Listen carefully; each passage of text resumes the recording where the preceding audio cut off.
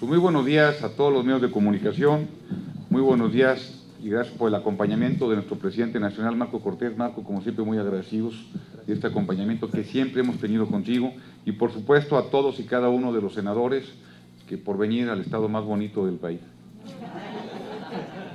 No, hombre, muchísimas gracias, les agradezco infinitamente que me hayan aceptado venir aquí al estado y eh, quisiéramos informarles el día de hoy que el Grupo Parlamentario de Acción Nacional en el Senado de la República definió su agenda legislativa para el primer periodo ordinario de sesiones del, segundo año de esta legislatura.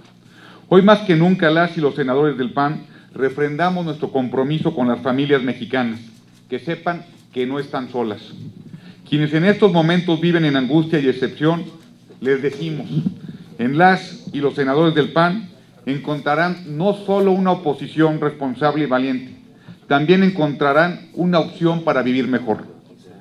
México debe de cambiar, eso no hay duda.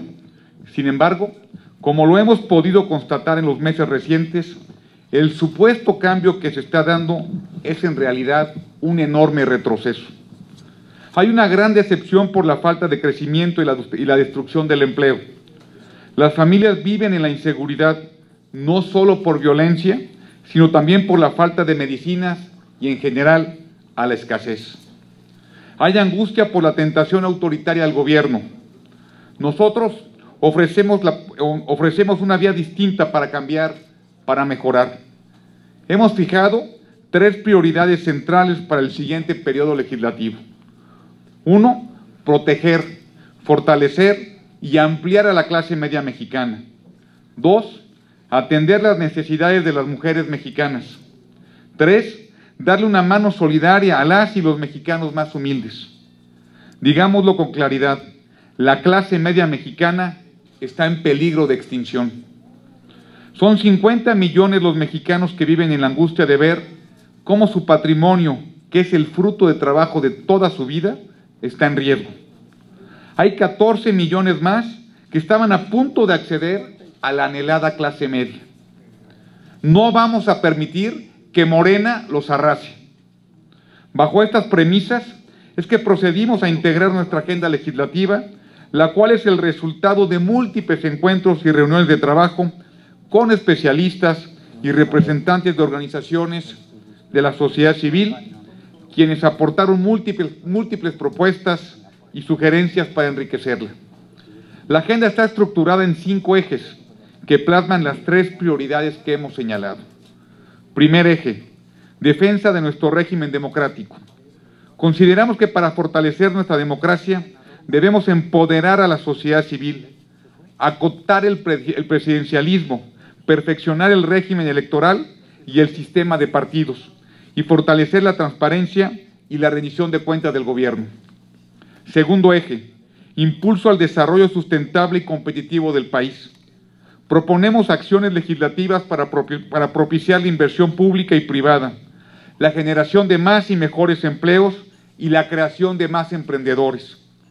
Queremos desarrollo, pero un desarrollo sustentable, amigable con el medio ambiente y por eso continuaremos promoviendo el uso de energías limpias y el cumplimiento de los compromisos en materia de cambio climático que tiene nuestro país.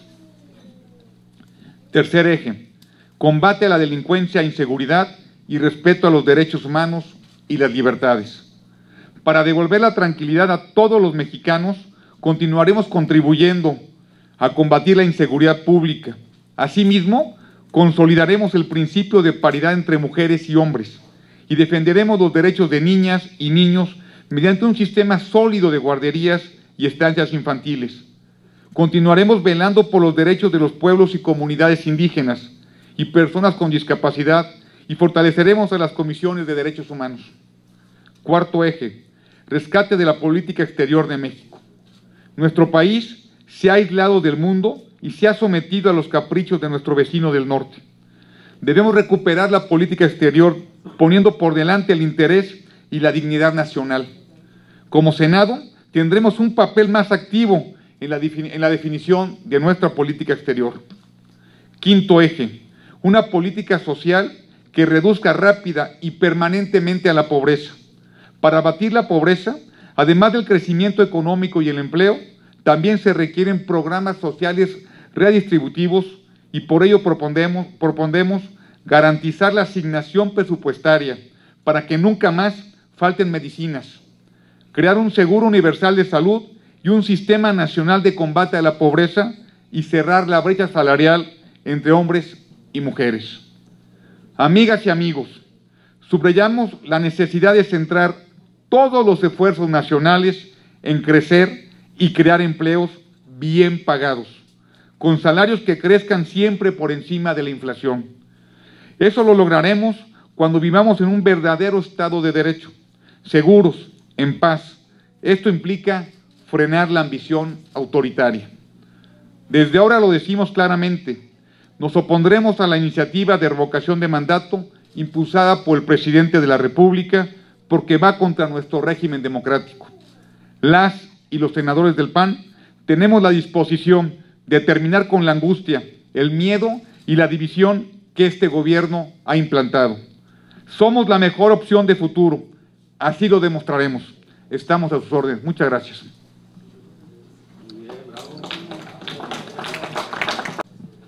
Amigas y amigos de los medios de comunicación, qué gusto saludarlos a todos, muy buenos días. Senadoras, senadores, coordinador Mauricio Curi y senadora Lupita Murguía, ambos anfitriones de este maravilloso estado de Querétaro. Qué bueno que hoy estamos aquí y festejamos además que está el grupo parlamentario de Acción Nacional completo 24 de 24 senadoras y senadores en esta reunión plenaria. Y además festejamos el primer año legislativo de esta bancada. Un año que ha tenido logros muy puntuales, muy concretos y de los cuales nos sentimos muy orgullosos. Por ejemplo, luchar por las trabajadoras del hogar. Por poner otro ejemplo, evitar la revocación de mandato el día de la elección. Por poner otro, mejorar la redacción de la Guardia Nacional para que desde la oposición se colabore en materia legislativa para lograr que el Ejecutivo tenga la herramienta legislativa para podernos dar paz y tranquilidad. Por ejemplo, la paridad de género que ahora falta reglamentar de manera secundaria. O por poner un ejemplo más, la garantía y gratuidad del tamiz neonatal. Todos estos y muchos más son logros en este primer año legislativo de la bancada de Acción Nacional en el Senado de la República. A todas y a todos ustedes, amigas y amigos, felicidades por este esfuerzo de este primer año. También, amigas y amigos, ante los pésimos resultados de este primer año de labores del presidente López Obrador, he hablado con mis diputadas y mis senadores para que juntos podamos construir una propuesta que permita a nuestro país generar crecimiento. Todos ustedes saben que hoy estamos en 0% de crecimiento respecto al Producto Interno Bruto, una total desaceleración. Todos ustedes saben que hay pérdida de empleos, según los datos oficiales del IMSS.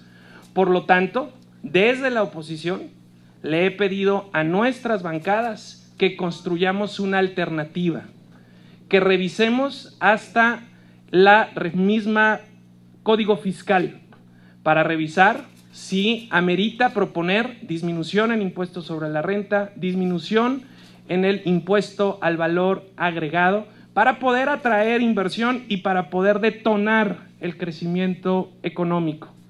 Le he pedido a las bancadas que construyamos una propuesta para poder generar trabajo. ¿Basado en qué? En la buena experiencia de nuestros gobiernos. Hoy les puedo presumir que con datos oficiales del IMSS, de enero a julio, el 45% de trabajos formales que se han generado en México son en los 11 gobiernos de Acción Nacional. Acción Nacional tiene una convicción de generar oportunidades laborales, tiene una vocación de apostar a la productividad y al crecimiento Y es por eso que Acción Nacional desde sus bancadas de diputados y senadores buscará impulsar una propuesta para que se pueda impulsar y detonar el crecimiento en nuestro país. También en materia de seguridad. Y desde aquí nuestra solidaridad para el gobernador de Tamaulipas, Francisco Cabeza de Vaca, que ha solicitado a el gobierno federal más apoyo de la Guardia Nacional. Lamentablemente este no ha sido concedido, porque la Guardia Nacional está en retos migratorios cuando no está en lo prioritario para el país, que es darnos paz y tranquilidad. Nuestra solidaridad, nuestro respaldo a él y a los demás gobernadores de Acción Nacional. Y lo que le exigimos al gobierno es un apoyo sin distingos partidistas a todos los gobiernos estatales y municipales para que se pueda enfrentar el reto de la inseguridad que se vive de forma creciente y alarmante en todo México. Como ustedes saben, hoy tenemos más secuestros que nunca, más feminicidios que nunca, más ejecuciones, más robos. Los datos oficiales del Secretariado de Seguridad Pública indican que hoy México está viviendo el año más violento a partir de que en México se lleva registros, que esto es 1997. Y de forma contradictoria vemos que también en México se cayeron los decomisos de los diferentes narcóticos, metanfetaminas, marihuana y las diversas drogas, se ha venido cayendo el decomiso de las mismas.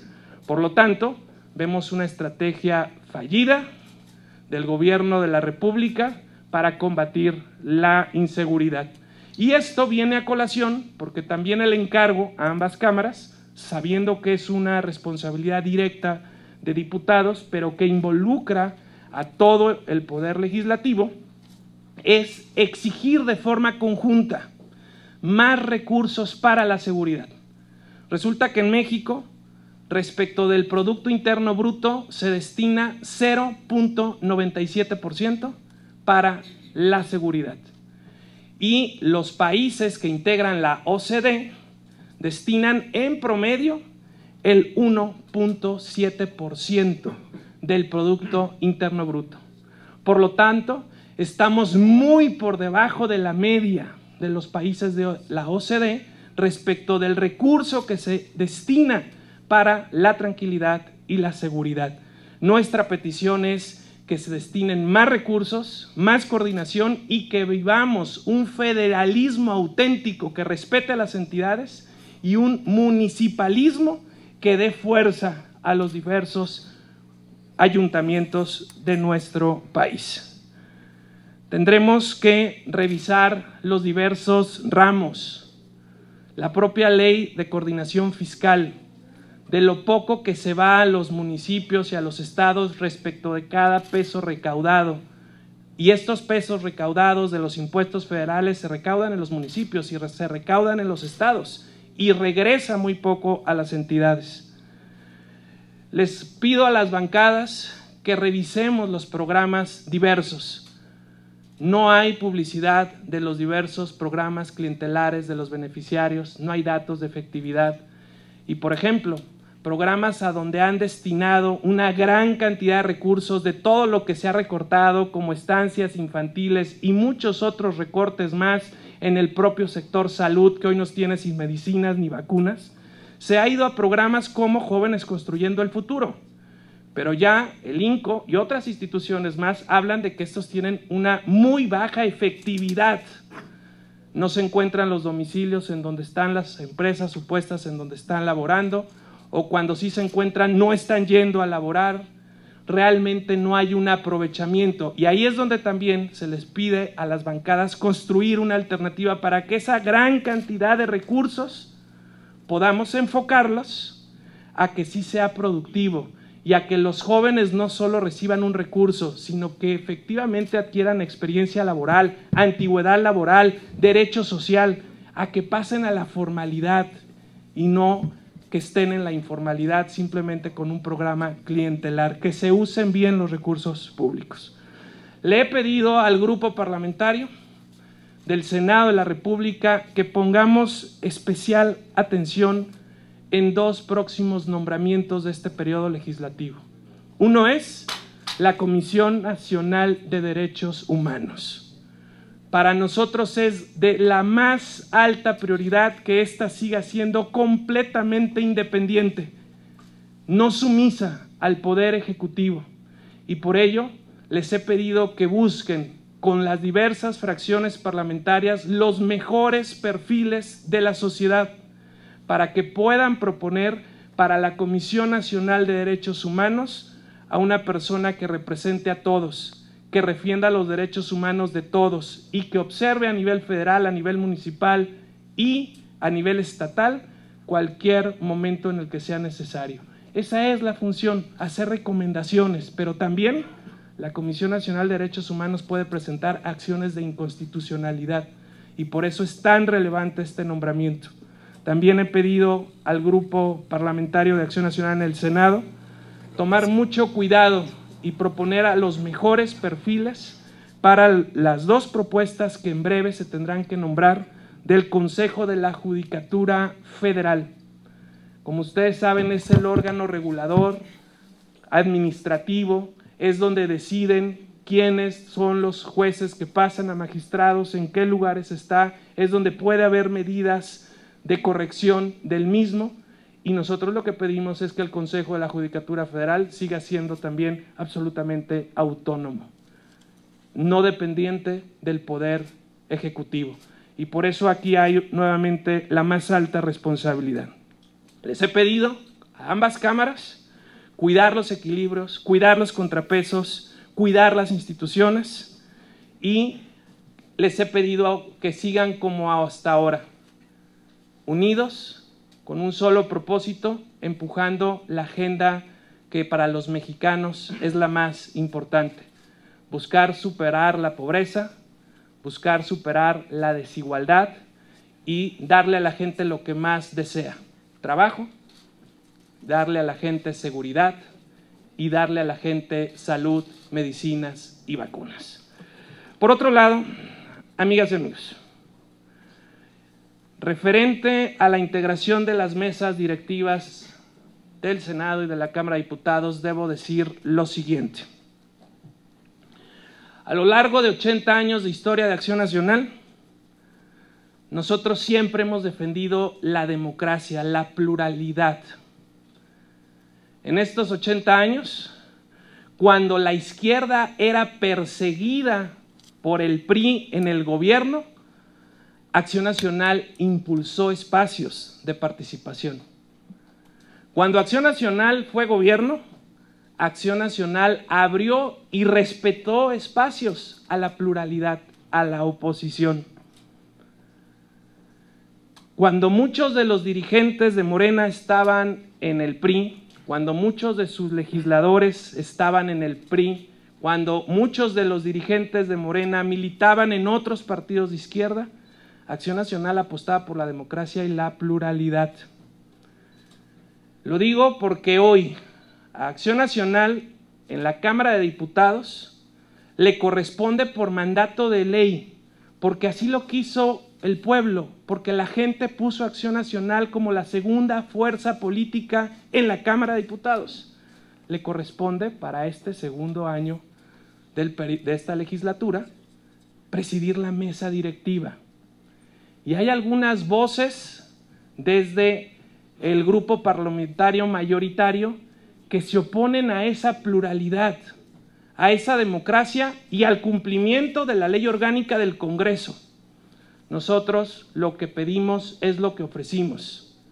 Es legalidad, es pluralidad y es que el acuerdo de arranque que se tuvo en la Junta de Coordinación Política en la Cámara de Diputados se respete.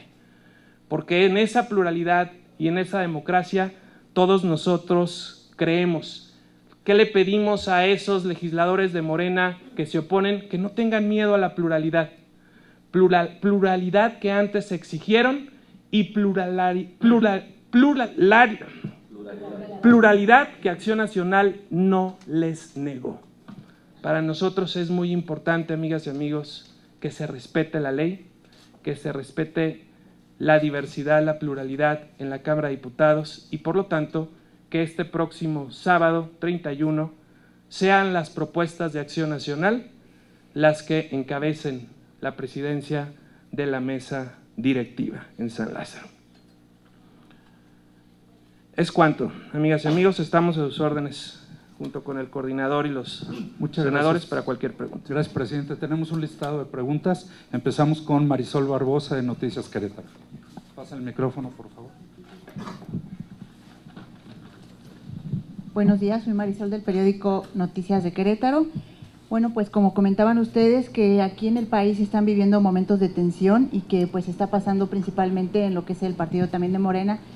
Eh, yo a los senadores quisiera preguntarles, ahorita estaban eh, diciendo que tenían ejes como proteger, fortalecer, ¿cómo van a trabajar para que el delito de feminicidio pues sea eh, pues sea más rígido. En todos los estados es diferente, o sea, no todos tienen el mismo, eh, las, mismas condenas, el mismo delito. Aquí en Querétaro, pues está habiendo más feminicidios. Inclusive ayer hubo otra persona que encontraron muerta en Jalpan de Serra. Cada semana estamos teniendo una mujer muerta y principalmente se está dando más por su pareja. Quisiera saber qué, como senadores, qué van a hacer. Claro que sí. Decirte, Marisol, que por supuesto que ha quedado muy claro para nosotros en el PAN, hemos estado trabajando el día de hoy y el día de ayer, y ha quedado muy claro que hay que trabajar por las mujeres de México, que es una prioridad, que hoy tenemos eh, a más del 51% de la población con una preocupación absoluta y clara, y es la inseguridad en la que estamos viviendo las mujeres en nuestro país. Que por supuesto estaremos planteando diversas reformas para que a través de los códigos penales y el Código de Procedimientos Penales el tema de la inseguridad de las mujeres se pueda, por supuesto, aminorar. Hay dos vertientes. Primero, los feminicidios, porque hay que reconocerlos, hay que visibilizarlos y hay que tipificar con claridad que es porque te matan porque somos mujeres, que nos matan porque somos mujeres. Eso no se puede soslayar. Es increíble la lógica de las procuradurías o de las fiscalías ahora, cómo quieren tergiversar la realidad y nos mandan, digamos, lo, lo, mandan al bloque de los homicidios. Hay que tener una claridad, no son homicidios, nos matan por ser mujeres y eso en México y en el mundo se llama feminicidio. Vamos, por supuesto, a endurecer las penas y segundo, también hay que tener una claridad desde la visión, digamos, de las mujeres qué significa una agresión. También, lamentablemente, es muy difícil poderla reconocer. La posibilidad entre un acoso, una violación y un feminicidio cada vez es más latente. Nosotros vamos a tener, digamos, vertientes muy claras. Solamente voy a resumirte dos. Por supuesto, el tema de feminicidios y la posibilidad de que las mujeres ganemos igual que los hombres. Hoy, en México, las mujeres ganamos el 30% menos que los hombres por el hecho de ser mujeres y sobre eso estaremos trabajando en este periodo de sesiones. Perdón, Isabel Tierrafría de RTQ. Eh, quisiera perdón, antes agregar, perdón, perdón, perdón Sergio, a Marisol, que le interesa el tema de feminicidio y que, bueno, Kenia ha señalado puntualmente. Quiero referirme también a una reforma legal que se llevó a cabo eh, durante este año de la legislatura, eh, que impulsamos muchos senadores de Acción Nacional, en el sentido de que el feminicidio sea un delito grave. Reformar el artículo 19 constitucional para que quien cometa un feminicidio no pueda salir en libertad bajo fianza, sino que se encuentre sujeto a prisión preventiva de manera oficiosa. ¿Por qué? porque a muchos de nosotros, y nos sucedió aquí en Querétaro, a Mauricio Curi, a mí y quizás a algunos compañeros también en campaña, fue una solicitud que nos hizo eh, la gente. Eh, nos pedían el tema del feminicidio, nos pedían que el robo a casa, habitación, eh, no los dejaran salir en esta figura que se expresa muy bien, que es lo de la puerta giratoria, sino, quedar, sino que quedaran sujetos a prisión preventiva oficiosa, fue una reforma que se impulsó y que se obtuvo. además de lo que ha venido comentando Kenia. Gracias. Isabel Tierrafría de RTQ. Yo quisiera preguntarles eh, en cuanto a la Guardia Nacional, si hay una, se solicitará alguna meta para que esta funcione como se había comprometido y si tienen alguna iniciativa en materia de seguridad.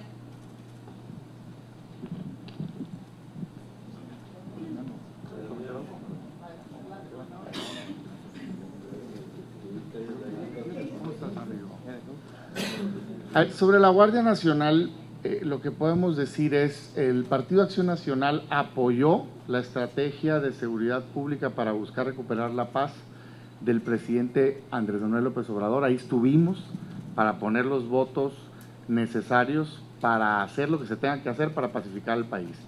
Pero corrigió los errores que traía. El presidente propuso militarizar permanentemente el país, así hay que decirlo de manera clara, y nosotros dimos una temporalidad en tanto se fortalece un cuerpo civil.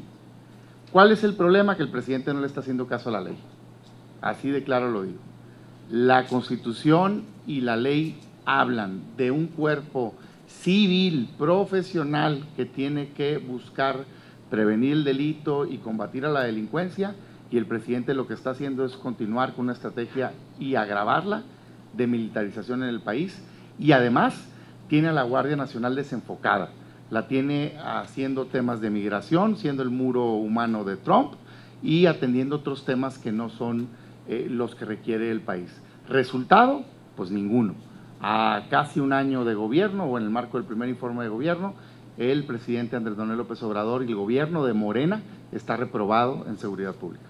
Eso es lo que te puedo decir sobre la Guardia Nacional. ¿Iniciativas en materia de seguridad? En concreto, nosotros, por un lado, fortalecimos ese esquema, es que la ley está bien, o sea, la reforma de la Guardia está bien, pero no le han hecho caso. Déjame ponerte un ejemplo, un ejemplo concreto. El titular nombrado de la Guardia Nacional es militar en activo y está prohibido.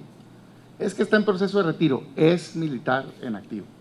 Y la Constitución y la ley te prohíbe, debe haber una separación.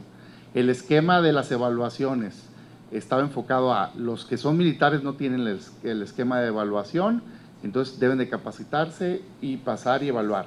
Los policías que sí estaban capacitados son a los que los empezaron a evaluar. O sea, está, digamos, pues mal orientada y desenfocada.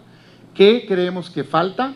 El fortalecimiento de los órganos locales, el fortalecimiento de las instituciones policíacas estatal y municipal, exactamente, con recursos, con capacidades humanas y muchos hemos propuesto pues un esquema de mando mixto. ¿Para qué? Para que pues pueda entrar a ayudar el tiempo que se requiera, ¿no? en tanto se fortalece en un municipio, como aquellos que no tienen policías, por ejemplo, que hay cientos en el país, ¿no? Pero sí tratar de fortalecer con recursos y con eh, otros tipos de temas las policías a nivel local. Hoy lo decimos en concreto, es el peor año de la historia desde que se tiene registro de los delitos en México, el 2019. El peor año fue el 2018. Este es mucho peor. Hay más homicidios, hay más secuestros, hay más extorsión. Y como dijo el dirigente, hay menos decomisos de droga, heroína, marihuana, cocaína. ¿Dónde está? En las calles con los jóvenes, desgraciadamente, de México. Gracias.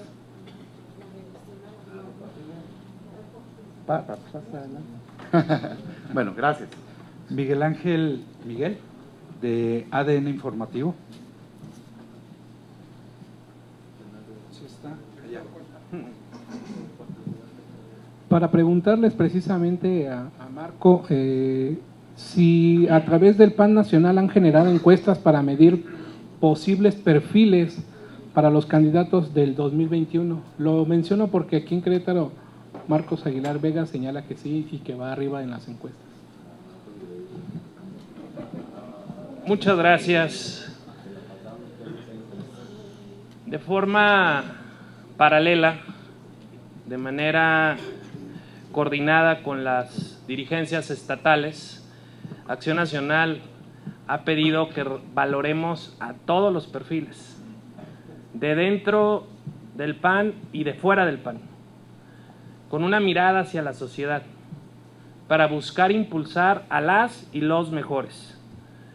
Tenemos un claro objetivo, construir en la Cámara de Diputados en el 21 una nueva mayoría, un nuevo contrapeso que permita desde ahí reconstruir la política económica, el crecimiento al que nos hemos referido. Y por supuesto que vamos a ir con las y los mejores en los diversos métodos que tiene Acción Nacional para elegir a nuestros candidatos. Y las mediciones se harán en el momento oportuno, así como las decisiones. Gracias por tu pregunta. Eh, Rosy Martínez de Plaza de Armas, por favor.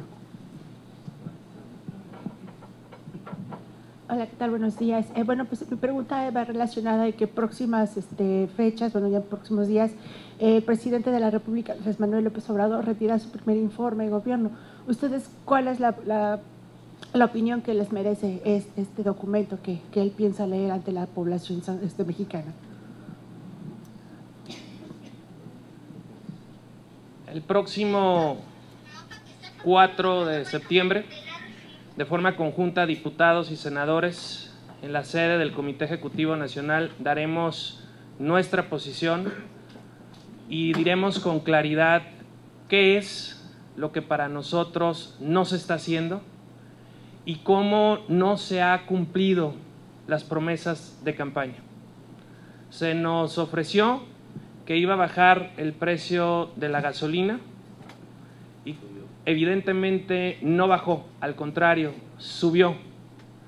Se nos ofreció que se acabarían las adjudicaciones directas del gobierno de Enrique Peña Nieto y de forma contradictoria subieron casi hasta un 74% las adjudicaciones directas del gobierno federal. Se nos ofreció pacificar al país y claramente no ocurrió. Se nos ofreció un crecimiento para este año del 4% del Producto Interno Bruto y estamos en 0% del Producto Interno Bruto. Diremos con claridad que la palabra empeñada no fue palabra cumplida y que este primer año ha sido un año desperdiciado y que nos ha costado muy caro a los mexicanos en materia de seguridad, en materia económica y en materia de salud, de derechos humanos, de democracia. Cecilia Conde de MBS Noticias, por favor. Preguntarles, ayer después de la reunión que sostuvieron eh, legisladores de Morena con el presidente, ya daban una fecha tentativa para la propuesta de revocación de mandato. Ellos mencionaban el 20 de noviembre de 2021. ¿A ustedes qué les parece esta propuesta y cómo es que se van a oponer? Y por otra parte, respecto a la elección de la mesa directiva de la Cámara de Diputados, en específico, ¿cómo van las negociaciones? ¿Son más las voces de Morena que eh, piensan ejercer esta mayoría que tienen en la Cámara Baja? Y solo por último, que me pudieran proporcionar el dato de cuánto es lo que ha disminuido la clase media de acuerdo a la información que ustedes tienen. Gracias. Me enfoco a las primeras dos preguntas y le pasaré la palabra al coordinador en la tercera. Respecto de la nueva propuesta del día de ayer de que la revocación de mandato sea el 20 de noviembre, primero debo decir que ese es un gran triunfo de los legisladores de Acción Nacional y del resto del bloque opositor a que el día de la elección, en el 21, fuera el referéndum del presidente, el día del presidente. Un gran logro que se pudo contener y del cual en Acción Nacional estamos muy orgullosos de las y los senadores de la República, por mantenerse firmes y consistentes en no permitir una desviación en el proceso democrático y en las reglas del juego con las que fue electo el actual presidente de la República. En segundo término, el día de ayer en nuestro diálogo hablaba de que será necesario deliberar entre ambas cámaras en el sistema PAN, que es la dirigencia con gobernadores, alcaldes, diputados, senadores, para construir nuevamente de forma conjunta una posición lo que es real es que el actual presidente lo es electo sin esa figura de la revocación de mandato. Y por ello es que habría que analizar si la misma puede ser implementada en este periodo de gobierno o en un periodo posterior. Y también los alcances que pudiera tener esta para con gobiernos estatales o eventualmente municipales. Por ello es que habrá que revisarla con responsabilidad para que podamos determinar nuestra posición respecto de este 20 de noviembre ahora propuesto. Por lo pronto, un gran logro haber hecho que ya cambiaran en la posición inicial de que fuera el día de la elección. Respecto a la mesa directiva, lo he dicho con claridad, es necesario garantizar la pluralidad. Acción Nacional la garantizó, la provocó cuando fue gobierno. Acción Nacional estuvo en contra de la persecución cuando el PRI era gobierno contra muchos de izquierda que tal vez hoy se oponen a que se respete lo que por ley, por derecho nos corresponde. Recuerden ustedes que la integración de la Cámara de Diputados proviene del mandato popular de la gente y es la bancada de Acción Nacional la segunda en fuerza en la integración de la misma y por mandato de la ley le corresponde presidir la mesa directiva.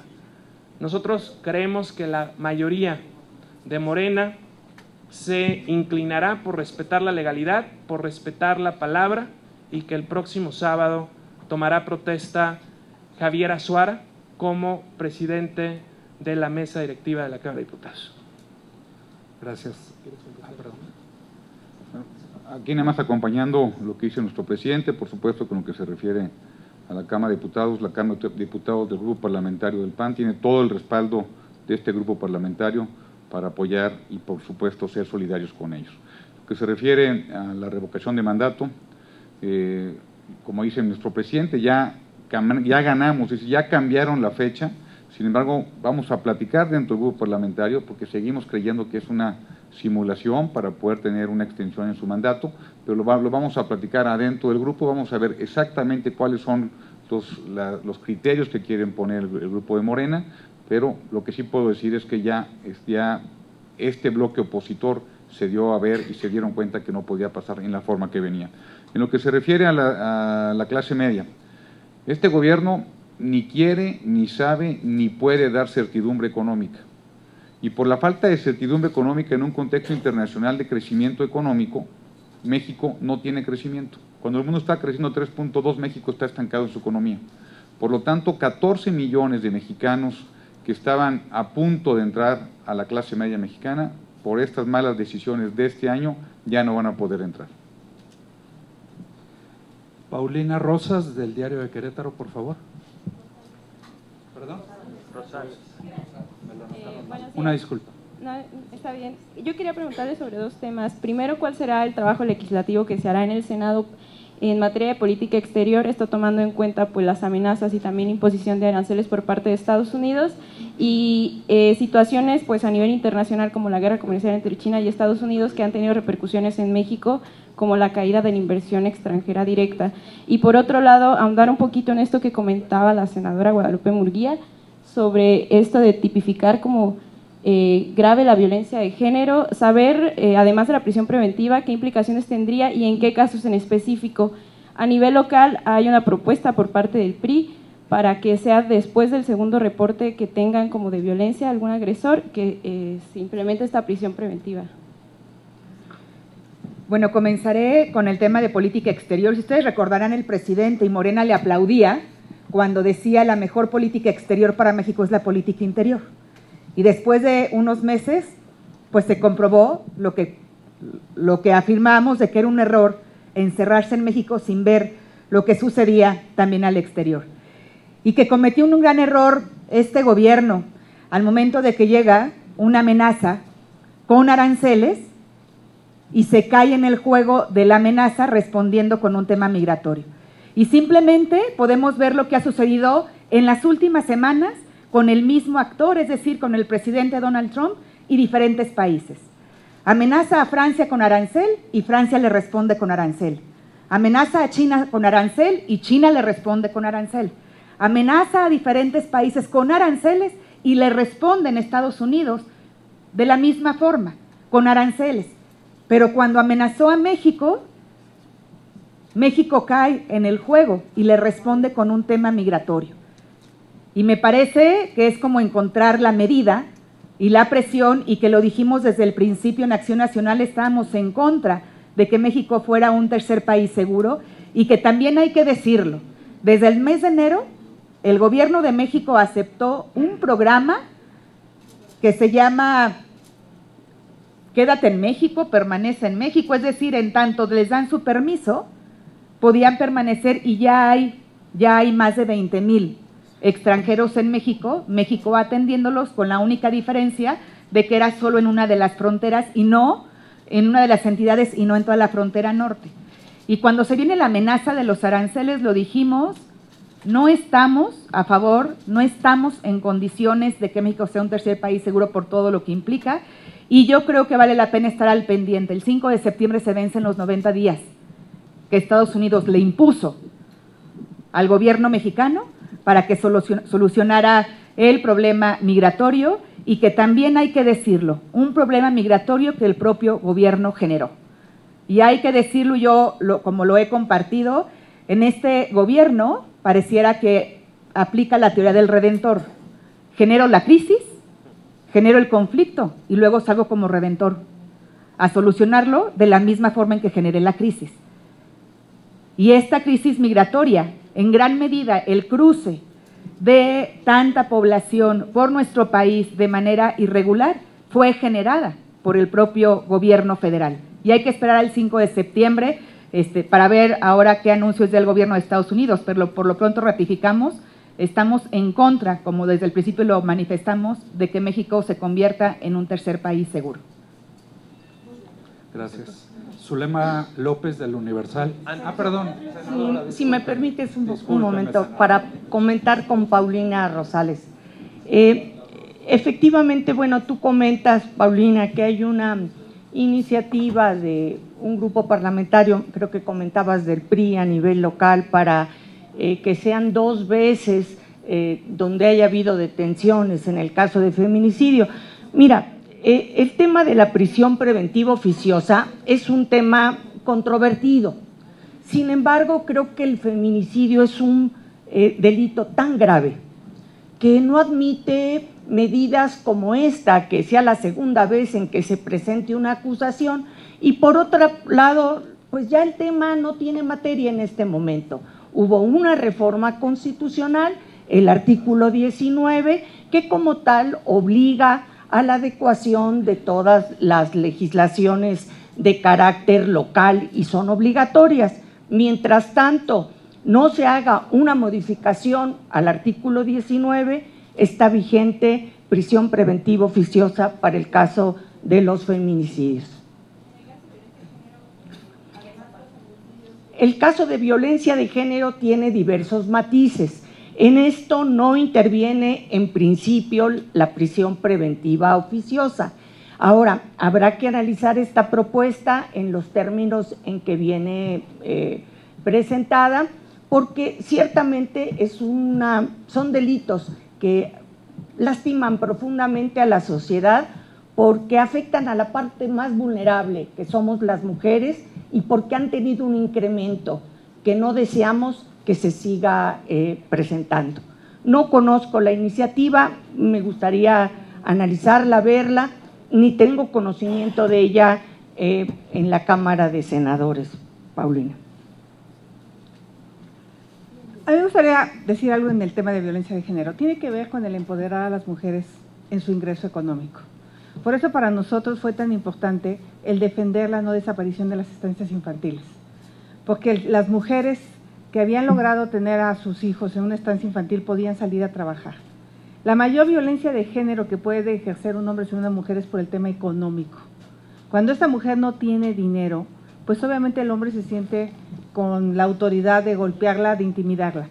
Va muy ligado y por eso vamos a trabajar fuertísimo en incrementar el ingreso de las mujeres a, que tengan una vida económica. No podemos permitir seguir ganando 20% menos. Esa es una de las agendas más importantes del Partido Acción Nacional. El tema de trabajadoras del hogar, 2.4 millones de mujeres en su mayoría, hoy van a tener seguridad social, que no la tenían. Eh, o sea, sí estamos preocupados porque las mujeres puedan tener ingresos económicos y mandar al carajo al marido que las insulte, sí. Eh, cuando pues, no quieren vivir con él, pero muchas veces lo hacen por miedo a con qué viven. Gracias. Muy buenos días. Quiero invitarnos todos a hacer una reflexión justamente en este tema de violencia contra las mujeres y quiero poner atención especial a que esta violencia que termina en los feminicidios de la manera más trágica y reprobable empieza en los primeros años de vida. Y hemos estado dando voz a las víctimas del crimen de violencia sexual. Hoy, de acuerdo a DIVAC, esta asociación que ha trabajado más de 30 años a favor y acompañando a las víctimas de violencia sexual, señala que en este momento en México cerca de 5 millones de niñas, principalmente niñas, pero también niños, están siendo víctimas del crimen de violencia sexual. Aquí empieza el peor crimen y la peor cadena de violencia que los atrapa de por vida. La UNICEF estima que este crimen es un crimen silencioso, porque la mayoría de las víctimas, cuando denuncia, lo hace 20 o 30 años después. La mayoría de las víctimas, siendo niñas y niños, o no alcanzan a dimensionar la gravedad del crimen, o simple y sencillamente no les creen. Adivac establece que solamente se denuncia uno de cada 10 casos y de esta denuncia, de este uno de cada diez casos, se resuelve menos del 2% en materia de justicia. Y cuando digo se resuelve, no quiere decir que se resuelve necesariamente a favor de la víctima. La gran mayoría de las veces es la impunidad, el silencio y la secrecía lo que fortalece al victimario. A diferencia de otros crímenes, donde el criminal va, conforme va pasando la edad, va disminuyendo la incidencia de sus crímenes, un criminal de violencia sexual es peligroso siempre. Y por esta razón vamos a proponer un paquete de iniciativas. Primero, darle voz a estas víctimas del crimen de violencia sexual y algo fundamental es lograr en México que no prescriba el delito, porque el dolor de la víctima no prescribe jamás. Que no prescriba el delito porque se denuncia 20 o 30 años después, que no prescriba el delito, porque el delito prescribe en nuestro país a partir de los tres años de que se cometió este crimen de violencia sexual. Que no prescriba el delito porque se revictimiza a quien ya fue víctima. Y hoy tenemos casos de niñas que sufrieron violación por su padre, es un caso que hemos hecho público, a los dos años, seis meses, la niña tiene cinco años de edad, y el juez está pidiendo un careo entre la niña y el papá. Este es solamente uno de los casos. Siete de cada diez crímenes de violencia sexual se lleva a cabo en los hogares. Por el padre, el tío, el hermano, el sobrino y en algunos casos, con mucho menos incidencia, algunas madres.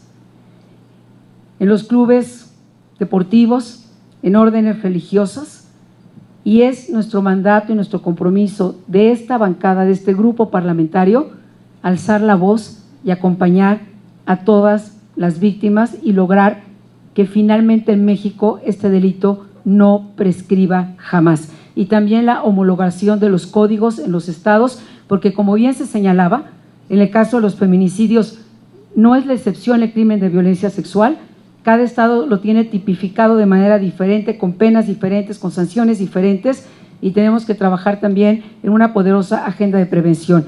Y termino mi intervención con otro tema profundamente doloroso e inaceptable, pero real, por eso es terrible. Y es eh, cuando se hablaba de la los índices eh, terribles de inseguridad que estamos enfrentando, hoy está también tocando a las niñas y a los niños. El INEGI son las cifras oficiales que tenemos en el año 2018, da cuenta de que más de 450 menores de 15 años sufrieron o fueron asesinados, víctimas de homicidio en nuestro país. Pero vean el terror de estas cifras. De ese total, 162 eran menores de 5 años y 61 no habían alcanzado siquiera un año de edad.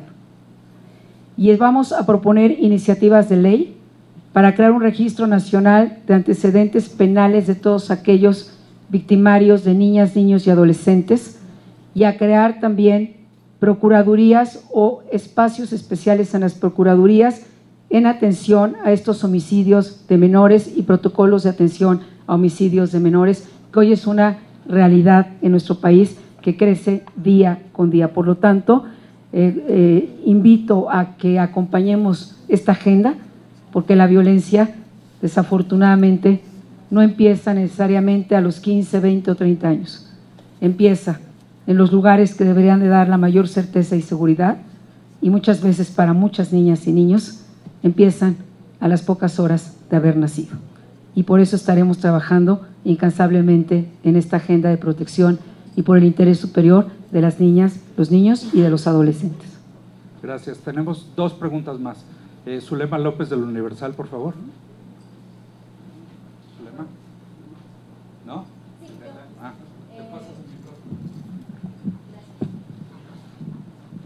Buenos días. Eh, tres preguntas. Uno, en cuanto a los medicamentos, eh, la opinión que tienen respecto a la nueva versión que da, la versión que dan hoy de que no hay ningún motivo porque exista escasez de medicamentos en, las diferentes instancias en México, pese al caso que se dio a conocer de, de, una muerte que podría haber generado, se podría haber generado por esto.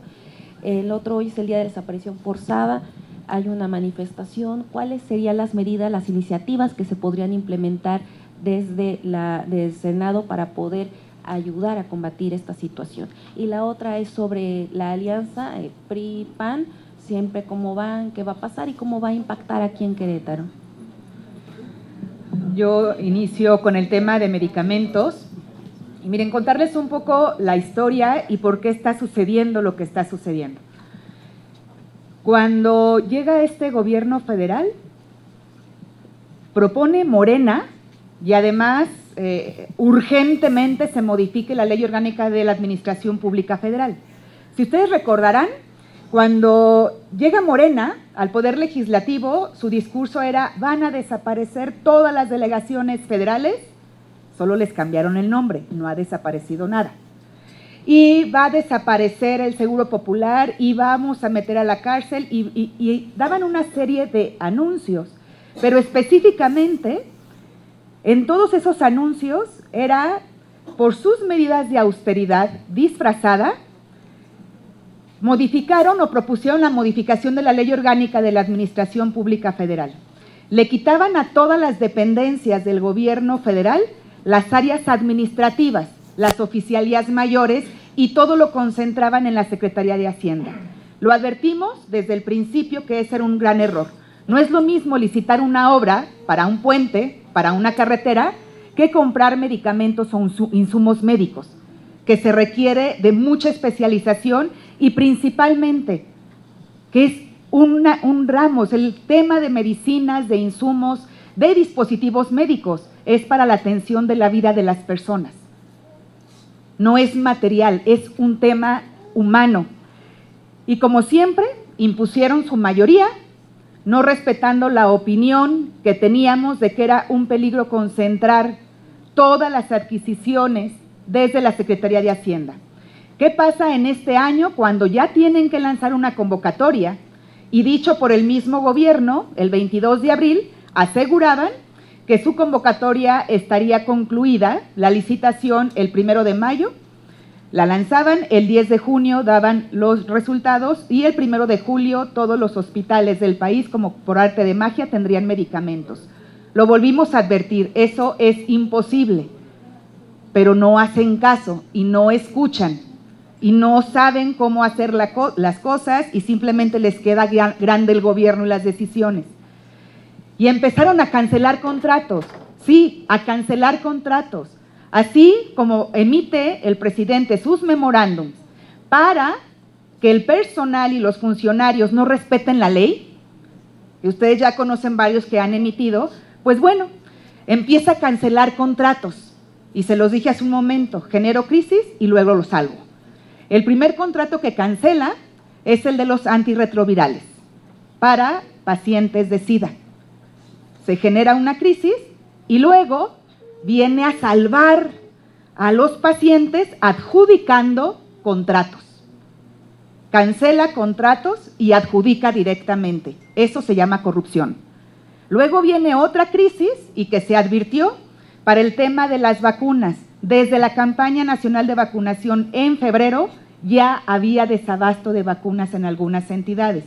¿Y por qué en algunas entidades? Porque las compras se hacen eh, eh, desde la parte federal, y anteriormente lo tenía el IMSS, para las entidades que tenían un convenio de compra consolidada, pero además las vacunas y eh, medicamentos, se le llaman medicamentos huérfanos, como antirretrovirales, como el medicamento para atender enfermedades con especialidad, como el cáncer, se hace desde el Fondo de Gastos Catastróficos, el que quieren utilizar para otra cosa, el que el presidente dijo que con ese recurso no sabe para qué se utiliza cada uno del recurso y del peso que México recauda.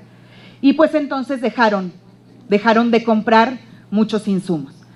Conclusión, cuando lanzan su convocatoria para medicamentos, Primero lo hace Hacienda sin tener reglamentos autorizados y tienen que cancelar la licitación porque entonces se están metiendo en un lío jurídico.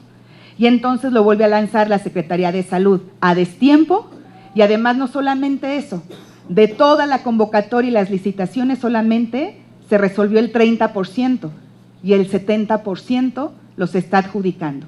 Lo que es increíble, que ante tanto error no los acepten y no se den cuenta cómo se están equivocando.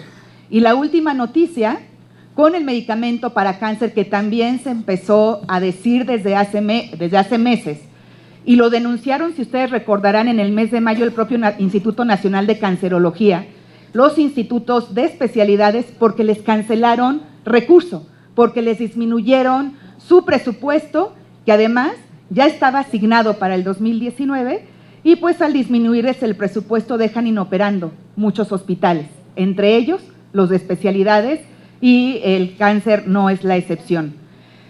Finalmente, se genera la crisis, viene la salvación. Entonces, y ahora resulta que le echa la culpa no a su mala administración, sino ahora la culpa, la, tienen, la culpa lo tienen los laboratorios. Aguas, porque Morena además guarda silencio. Pedimos en varias ocasiones la comparecencia en la Comisión Permanente en el Senado de la República y Morena no ha permitido que ningún funcionario, que absolutamente ningún funcionario del gobierno federal dé la cara. ¿Qué proponemos? Tenemos que regresar la facultad a la Secretaría de Salud por ser un área muy especializada el tema de las licitaciones y las compras de medicamentos. Tenemos que respetar a estados y municipios. No pueden desaparecer programas por decreto. Vamos a defender el seguro popular, lo vamos a defender y el Fondo de Gastos Catastróficos. Y por supuesto, como lo dijo nuestro coordinador al principio, a impulsar un sistema universal de salud. ¿Qué quiere decir esto? Que podamos unificar la atención de salud y que no dependa ni de la edad, ni de dónde trabajas, ni de tu posición económica para que tengas acceso al derecho a la salud. ¿En otro tema? Este, un favor, ya por, por términos de tiempo, le voy a pedir solamente a la Secretaria de Salud que haga una contestación ahorita, Kenny. Este, aunque termina nada más rápido este, para, que no se vaya el mismo tema. Termina Kenia con desaparición forzada y le damos por terminar, si te parece bien, Sergio, porque se tiene aquí el, presidente. No hay alianza. No hay alianza. Eh, como secretaria de la Comisión de Salud, si quiero eh, pues hablar desde el corazón, que es lo que nos duele, la historia de Mariana que tocas, esta niña que murió por esperar tres semanas el tratamiento contra el cáncer en el Hospital Federico Gómez. La historia de Mariana, que seguramente ya la conocen, es una historia desgarradora. Escuchar a su madre cómo pidió ayuda, advirtió y nadie le hizo caso. Y encima que el secretario de Salud responda que los niños con cáncer pueden esperar. Esto es muy lamentable. Desde la Comisión de Salud pedimos la comparecencia del secretario de Salud y hemos sido ignorados. Y este es el problema y esto es lo que les pedimos como legisladores a los ciudadanos, que en el 21 cambien de opción, que en el 21 eh, apoyen a legisladores que sí quieran que los secretarios comparezcan, que en el 21 en materia de salud vayamos por legisladores que sí le pidan cuentas al gobierno federal. Este es el problema que estamos teniendo en el legislativo. Legisladores con falta de sensibilidad. Advertimos del tamiz neonatal, hemos advertido ya de las vacunas y no estamos siendo escuchados. Esto es lo que le duele a México, lo que le está doliendo a las madres mexicanas y a las familias mexicanas. No queremos que el seguro popular desaparezca por los niños, por las familias, por quienes más lo necesitan. Nada más para responder rápidamente, efectivamente, eh, hoy se visibiliza el tema de la desaparición forzada y por supuesto que el Partido Acción Nacional acompaña la aceptación de la competencia para casos individuales. Déjenme comentarles que nosotros desde noviembre del año pasado, el 13 de noviembre del año pasado, presentamos un punto de acuerdo justamente para pedir que se acepte la competencia para casos individuales. Así es que, por supuesto, que estamos de acuerdo con la aceptación y solamente darles un dato y hacer un llamado al Ejecutivo Federal. Necesitamos también aceptar la visita del Comité de Expertos. Los expertos de la ONU han dicho claramente cuáles son los problemas de derechos humanos específicamente sobre desaparición forzada en México.